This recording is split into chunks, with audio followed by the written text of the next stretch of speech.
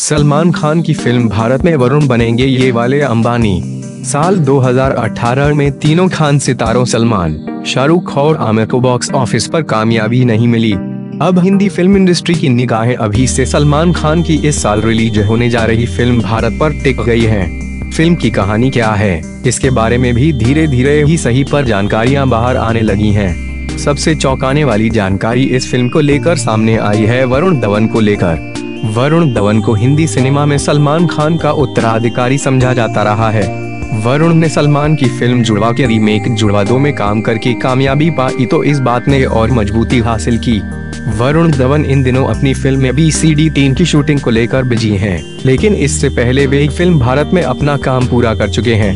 Film Bharat की unit के एक सदस्य के मुताबिक वरुण धवन ने सलमान खान की फ़िल्म भारत में एक बहुत ही दिलचस्प मेहमान भूमिका कर रहे हैं। ये भूमिका है देश के सबसे रईस मुकेश अंबानी के पिता धीरू भाई अंबानी की भारत एक पीरियड फ़िल्म है और इसमें वरुण धवन के इस किरदार को लेकर इंडस्ट्री में अभी से चर्चाएँ शुरू हो चुकी हैं।